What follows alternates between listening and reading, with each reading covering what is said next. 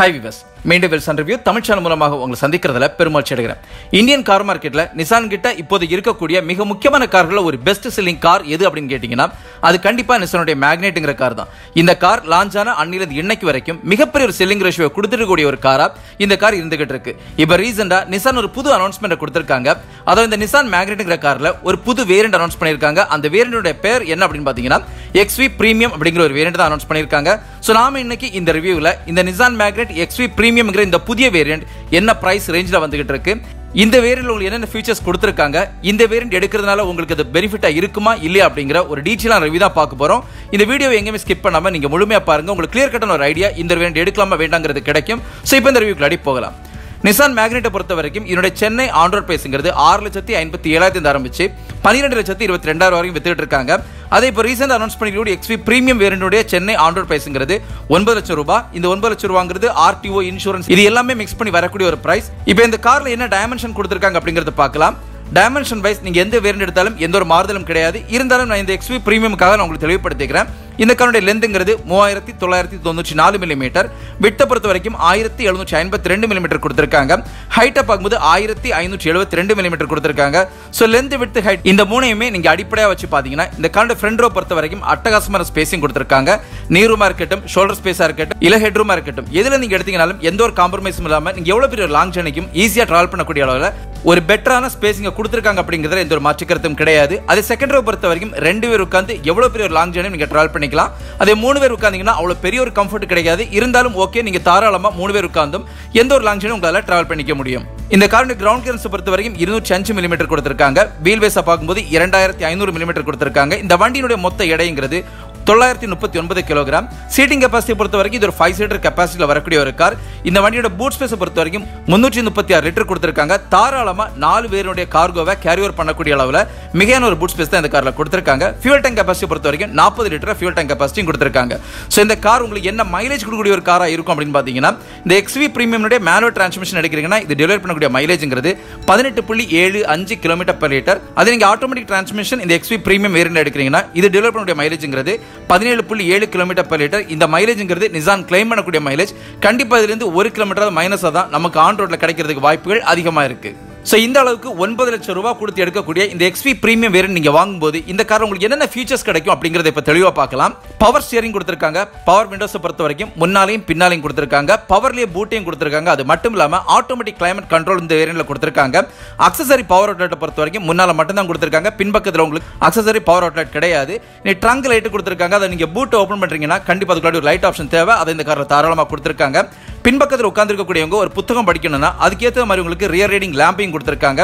பின்பக்க சீட்டுக்கு head rest அது மட்டும் இல்லாம அந்த ஹெட்ரெஸ்ட் உங்களால் அட்ஜஸ்ட் பண்ணிக்க முடியும். இனி பின்பக்கத்தில் உட்காந்துருக்கக்கூடியவங்களுக்கு ஒரு கம்ஃபர்ட்டை கொடுக்கறதுக்காகவே சென்டர் ஆம்ரஸ்டையும் கொடுத்துருக்காங்க. இனி ஹைட் அட்ஜஸ்டபிள் ஃப்ரண்ட் சீட் பெல்ட்டும் கொடுத்துருக்காங்க. கப் ஹோல்டர்ஸை பொறுத்த வரைக்கும் இந்த காரில் உங்களுக்கு முன்னாலையும் பின்னாலையும் கொடுத்துருக்காங்க. இது எல்லாமே கடந்து பின்பக்கத்தில் கம்ஃபர்ட் எடுத்து கொடுக்கறதுக்காகவே ஏசி வெண்டு கொடுத்துருக்காங்க. அது கண்டிப்பாக மிகவும் தேவைப்படக்கூடிய ஒரு விஷயம். இதே ரேஞ்சில் இருக்கக்கூடிய மற்ற கார்களில் இல்லை அப்படிங்கிறது இந்த காருக்கு ஒரு பாசிட்டிவாகவும் இருக்கு. இந்த சீட் லம்பர் சப்போர்ட் கொடுத்துருக்காங்க. சீட் லம்பர் சப்போர்ட்ங்கிறது வேற எதுவும் கிடையாது. உங்கள் முதுகு தண்டுக்கு ஏற்ற மாதிரி சீட்டை டிசைன் பண்ணியிருப்பாங்க. அது இந்த காரில் கொடுத்துருக்காங்க. மல்டி ஃபங்க்ஷன் ஸ்டியரிங் வீல் கொடுத்துருக்காங்க. க்ரூஸ் கண்ட்ரோல் வருது அது மிகையான ஒரு விஷயமா இருக்குது இந்த ப்ரைஸ் ரேஞ்சில் இருக்கக்கூடிய வேறு எந்த கார்லையும் உங்களுக்கு க்ரூஸ் கண்ட்ரோல் கிடையாது. இனி பின்பக்கத்தில் பார்க்கிங் சென்சர்ஸ் கொடுத்துருக்காங்க. இன்னைக்குள்ள யங்ஸ்டர்ஸ் ரொம்ப விரும்பக்கூடிய ஸ்மார்ட் அக்சஸ் கார்டு என்று இந்த காரில் இருக்குது இன்ஜின் ஸ்டார்ட்ஸ் ஆஃப் பட்டன் கொடுத்துருக்காங்க. இனி முன்பக்கத்திலையும் பின்பக்கத்திலையும் பாட்டில் ஹோல்டர்ஸ் கொடுத்துருக்காங்க.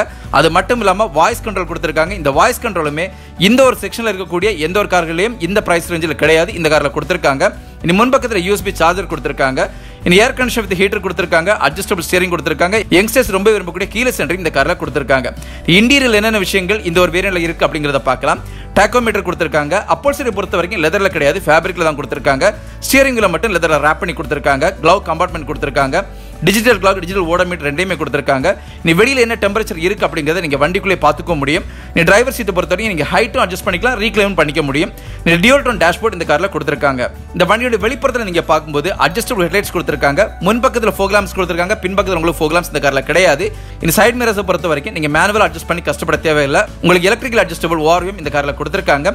இனி பின்பக்க விண்டோவுக்கும் வைப்பர் டிஃபோகர் ரெண்டையுமே கொடுத்துருக்காங்க. வாஷர் கொடுக்கல அது கண்டிப்பாக நெகட்டிவான இம்பாக்டாக இருக்குது இனி இந்த காரில் உங்களுக்கு அலாய் வீல்ஸ் கொடுத்துருக்காங்க. அதுவும் பதினாறு இன்ச்சில் அலாய் வீல்ஸ் கொடுத்துருக்காங்க. அது கண்டிப்பாக பாசிட்டிவான விஷயம்.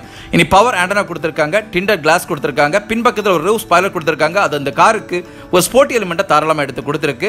இனி முன்பக்கத்தில் ஒரு எக்ஸிக்யூட்டிவ் லுக்கை கொடுக்கறதுக்காக உங்களுக்கு க்ரோம் கிரில் இந்த காரில் கொடுத்துருக்காங்க. ப்ரொஜெக்டர் ஹெட்லாம்ஸ் கொடுத்துருக்காங்க. அது கண்டிப்பாக டிரைவருக்கு எதுவான ஒரு விஷயமா இருக்கும். இனி இந்த காருக்கு ஒரு ஸ்போர்ட்டி எலிமெண்ட் எடுத்து கொடுக்கறதுக்காகவே ரூஃப் ரயில் இந்த காரில் கொடுத்துருக்காங்க. லைட்டிங்கை பொறுத்த வரைக்கும் டே டைம் லாம்பாக இருக்கட்டும் ஹெட்லாம்ஸாக இருக்கட்டும் டெய்ல் லாம்பாக இருக்கட்டும் ஃபோக் லாம்பாக இருக்கட்டும். எல்லாமே எல்இடியில் கொடுத்துருக்காங்க. அது கண்டிப்பாக இந்த ஒரு வேரியண்ட்டுக்கு ஒரு ஆப்டான விஷயமா இருக்கு. இனி இது எல்லாமே கடந்து இந்த காரில் என்டர்டைன்மெண்ட் அண்ட் கம்யூனிகேஷனுக்கு என்ன கொடுத்துருக்காங்க அப்படின்னு பார்க்கும்போது இன்டெகிரேட்டட் டூ டி ஆடியோ கொடுத்துருக்காங்க. எட்டு இன்ச்சில் உங்களுக்கு டச் ஸ்க்ரீன் இன்ஃபர்டைன்மெண்ட் சிஸ்டம் கொடுத்துருக்காங்க. ஆப்பிள் கார்ப்ளே இருக்குது ஆண்ட்ராய்ட் ஆட்டோ இருக்குது நாலு ஸ்பீக்கர்ஸ் கொடுத்துருக்காங்க. யூஎஸ்பி ஆக்ஸ் ப்ளூத்துங்கிற மிக முக்கியமான கனெக்டிவிட்டி இந்த காரில் இப்போதைக்கு தாராளமாக கொடுத்துருக்காங்க. ஸோ என்னுடைய ரிவ்யூ கண்டினியூ கேட்கக்கூடிய எல்லாருக்குமே தெரியும். நான் எப்போதுமே ஒரு கார் எடுக்கிறதா இருந்தால் அந்த காரில் மிக நீங்கள் பார்க்க வேண்டிய அம்சங்கள் சேஃப்டின்னு சொல்லிட்டு இருப்பேன். இந்தியன் கார் மார்க்கெட்டை பொறுத்த வரைக்கும் யாராக இருந்தாலும் ஒரு கார் வாங்கணும்னு முடிவு பண்ணிட்டாங்கன்னா அந்த காரில் முதன்மையாக பார்க்கக்கூடிய அம்சங்கிறது அவங்களுடைய பிரைசிங் இரண்டாவது அந்த கார் எவ்வளோ அழகாக இருக்குது மூணாவது என்ன மைலேஜ் கொடுக்குது? நாலாவது காரோட ரீசேல் வேல்யூ என்ன? அஞ்சாவது இந்த காரோட எக்ஸ்டீரியர் லுக் எப்படி இருக்குது ஆறாவது அந்த காருக்கு உள்ளாடி என்ன ஃபீச்சர்ஸ் கொடுத்துருப்பாங்க? எப்படிங்கிறத பார்ப்போமே தவிர சேஃப்டியை பற்றி நம்ம பார்க்குறதே கிடையாது. என்னுடைய ஒரு அட்வைஸ் எப்போதுமே நீங்கள் ஒரு கார் எடுக்கிறதா இருந்தால் அது புது காராக இருக்கட்டும் இல்லை யூஸ்ட் காராக இருக்கட்டும் எதுவாக இருந்தாலும் அந்த காரில் நீங்கள் முதன்மையாக பார்க்க வேண்டிய அம்சங்கிறது பிரைசிங் இரண்டாவது பார்க்க வேண்டியங்கிறது சேஃப்டி சேஃப்டியை கடந்தால் வேறு எதையுமே பாருங்க. ஸோ அதனுடைய அடிப்படையில் ஸோ ஒன்பது லட்ச ரூபா கொடுத்து இந்த எக்ஸ்பி பிரீமியம்ங்கிற வேரியண்ட் கார் நீங்கள் எடுக்கிறீங்கன்னா உங்களுக்கு என்னென்ன சேஃப்டி ஆஸ்பெக்ட் இருக்குது அப்படிங்கிறத பற்றி பார்க்கலாம். ஆன்டிலாக் பிரேக்கிங் சிஸ்டம் கொடுத்துருக்காங்க எலக்ட்ரானிக் பிரேக் டிஸ்பிளேஸ்மெண்ட் கொடுத்துருக்காங்க சென்ட்ரல் லாக்கிங் இருக்கு பவர் டூ லாக்ஸ் இருக்கு சைல்ட் சேஃப்டி லாக்ஸ் கொடுத்துருக்காங்க ஆன்டி தெஃப்ட் அலாம் கொடுத்துருக்காங்க டியூல் ஏர்பேக் தான் கொடுத்துருக்காங்க இனி பின்பக்க சீட்டுக்கு சீட் பெல்ட் கொடுத்துருக்காங்க அந்த சீட் பெல்ட்டுக்கு வார்னிங் கொடுத்துருக்காங்க. டூர் அஜார் வாங்கி கொடுத்துருக்காங்க. அதை நீங்கள் ப்ராப்பராக டூரை க்ளோஸ் பண்ணலன்னா அதுக்குள்ள இன்டிமேஷன் உங்களுக்கு எம்ஐடியில் வந்துடும் side and front impact beams கொடுத்துருக்காங்க. டயர் ப்ரெஷர் மானிட்டரிங் சிஸ்டம் கொடுத்துருக்காங்க. அது கண்டிப்பாக நல்ல ஒரு விஷயம். இன்ஜின் இம்மோபலைசர் கொடுத்துருக்காங்க. அது அவங்க கீழே இருக்கக்கூடிய கோட் இன்ஜின் கோட் ரெண்டுமே மேட்ச் ஆகலைன்னா இந்த வண்டி நீங்கள் எக்னைட் பண்ணும்போது ஸ்டார்ட் ஆகாது. கிராஷ் சென்சர் கொடுத்துருக்காங்க. ஃபியூல் டேங்க் பொறுத்த வரைக்கும் சென்ட்ரல் மவுண்ட் பண்ணியிருக்காங்க. இன்ஜின் செக் வார்னிங் இருக்கு. இனி பின்பக்கத்தில் கேமரா கொடுத்துருக்காங்க. ஆன்டி தெப் டிவைஸ் கொடுத்துருக்காங்க. ஸ்பீட் அலர்ட் கொடுத்துருக்காங்க. ஸ்பீட் சென்சிங் ஆட்டோ ஒரு லாக் கொடுத்துருக்காங்க. அதாவது நீங்கள் மேனுவலாக லாக் பண்ண மறந்தாலும் கூட ஒரு பத்திலிருந்து பதினஞ்சு கிலோமீட்டர் ஸ்பீடில் உங்கள் வண்டி மூவ் ஆனோடனே ஆட்டோமேட்டிக்கல் டோருமே லாக் ஆயிரும். ஐசோஃபிக்ஸ் கொடுத்துருக்காங்க. Pre tension and force seat belt கொடுத்துருக்காங்க. Impact sensing auto door unlocking கொடுத்துருக்காங்க. இது எல்லாமே கடந்து த்ரீ சிக்ஸ்டி டிகிரியில் கேமராவையும் கொடுத்துருக்காங்க. ஸோ எங்கிட்ட பெர்சனலாக கேட்டிங்கன்னா ஒன்பது லட்சம் ரூபாவுக்கு இந்த ஒரு செக்மெண்ட் இருக்கக்கூடிய மற்ற கார்கள் கொடுக்காத பல அம்சங்களை இந்த காரில் கொடுத்துருக்காங்க. ஸோ ஒன்பது லட்சம் ரூபாவில் எனக்கு சப்காம்பேக்ட் எஸ்யூவி கார் ஒன்று வேணும். அதில் மேக்ஸிமம் ஃபீச்சர்ஸ் லோடடாக இருக்கணும். ஓரளவுக்கு அந்த காரில் மைலேஜும் கிடைக்கணும். அது மட்டும் இல்லாமல் சேஃப்டி ஆஸ்பெக்ட்லையும் பெர்ஃபெக்டாக இருக்கும்னு எதிர்பார்க்குறீங்கன்னா கண்டிப்பாக இந்த காரை சூஸ் பண்ணலாம். ஒரு பெட்டர் ஆப்ஷன் இருக்கக்கூடிய ஒரு காராக இந்த கார் இருக்கு அப்படிங்கிறது எந்த ஒரு மாற்று கருத்தும் கிடையாது. நான் இன்னைக்கு கொடுத்த இந்த இன்ஃபர்மேட்டிவ் கண்டிப்பாக உங்களை ஃபுல்ஃபில் பண்ணியிருக்கும் நம்புறேன். இன்னும் ஒரு வீடியோ உங்களை சந்திக்கிற வரைக்கும் உங்களிடமிருந்து விடைபெறுது உங்களுடைய அன்பின் விவேக். தேங்க்யூ